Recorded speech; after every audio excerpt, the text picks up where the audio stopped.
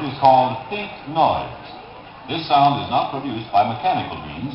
Instead, it originates as a stream of electrons in a vacuum tube.